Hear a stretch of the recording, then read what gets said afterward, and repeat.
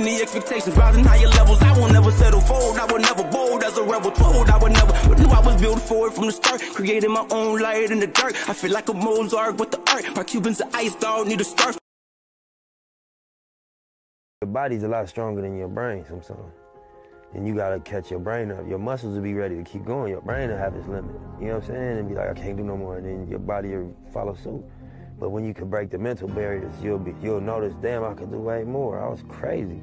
You know what I'm saying? I had way more in me. So I think that's an example of like feeling like you can't like you exhausted or you you about to, you know, you overwhelmed and then being clear that, you know, this is how I feel to be pushing yourself more than you ever have, demanding more. You know, that's just the natural way it feel When you when you press your line and press yourself to produce more and to be better, you know what I'm saying? Too late, this shit got super lit. You see the way I pull it, bitch. You see the way these diamonds hit. Nigga try to touch my chain, you gon' see the way this 40 kit. They don't want no problems